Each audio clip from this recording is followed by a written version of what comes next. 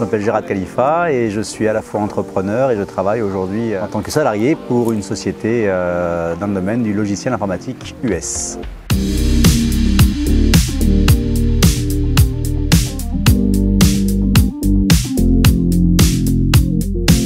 Le B2B Kite Summit est pour moi un événement hors du commun, hors du temps, euh, qui se déroule ici à Darla, euh, dans un environnement qui est juste magnifique, avec des gens extraordinaires, où on peut rencontrer euh, systématiquement des entrepreneurs, mais aussi des personnes passionnantes, motivantes, qui donnent toujours envie d'aller plus loin et surtout de, de se dépasser. Se dépasser aussi grâce à l'activité sportive du kitesurf qui est pratiquée ici à Darla. Alors ce que je pense du combo sport-business au sein du B2B Kite Summit, c'est un bon mix, un très bon mix, parce qu'on n'est pas uniquement à faire du business et à travailler euh, tous les jours en table ronde, on n'a pas de, de, de, moment de, de, répit.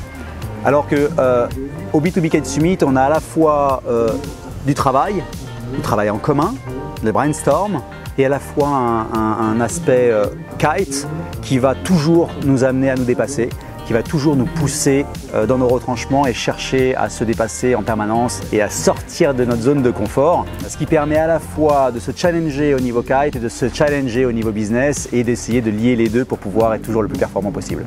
Ce qui m'a le plus marqué au B2B Kite Summit, ce sont les gens. Clairement, les personnes qui y participent. Bienveillance, bonne humeur, amusement, business, partage et des personnes qui sont juste formidables avec toujours euh, des questions intéressantes, des échanges intéressants. Bien évidemment, euh, l'événement en lui-même est extraordinaire, mais sans euh, l'organisation que Laurent a mis en place avec ses équipes et sans les personnes qui y participent, ça ne serait strictement rien.